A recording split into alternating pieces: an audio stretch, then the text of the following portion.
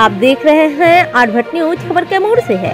कैमूर ज़िले के दुर्गावती में कस्तूरबा गांधी बालिका आवासीय विद्यालय के खेल परिसर में दिव्यांगजन छात्राओं के लिए विशेष सांस्कृतिक खेल और रचनात्मक कार्यक्रम का आयोजन किया गया। यह कार्यक्रम सोशल डिस्टेंस के साथ किया गया तथा इस कार्यक्रम का शुभारंभ माँ सरस्वती के चित्र का पूजन व धूप दीप प्रज्वलित कर किया गया। बता दें कि कार्यक्रम में दिव्यांग बच्चों की चित्रकला, संगीत, सुई धागा म्यूजिकल चेयर आदि प्रतियोगिता हुई।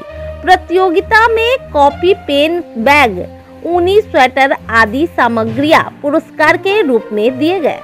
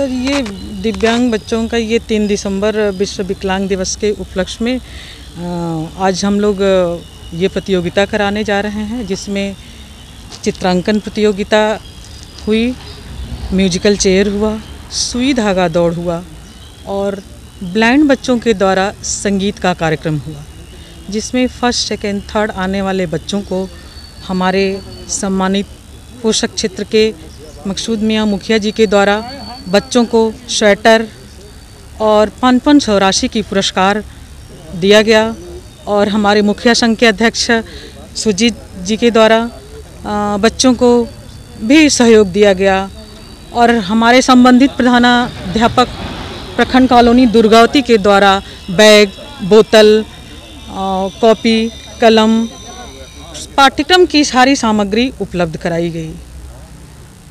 क्या नाम होगा? संध्या सिंह। पर तो हर आदमी का ध्यान होता है, खास करके विकलांग लोगों पर बहुत कम लोगों का ध्यान होता है, इसलिए कस्तूरबा गांधी विद्यालय के टीचर लोग और हम लोग मिल करके और ये सम्मानपूर्वक दिव्यांग बच्चों के लिए जो कपड़ा जो है कि स्वेटर और कापी पेंसन ये सब जो ज़रूरत की चीज़ है बच्चों के लिए, वो सब हम लोग कर रहे हैं। ऐसे में बच्चों के लिए और क्या आपकी तरफ़ से आदेश है?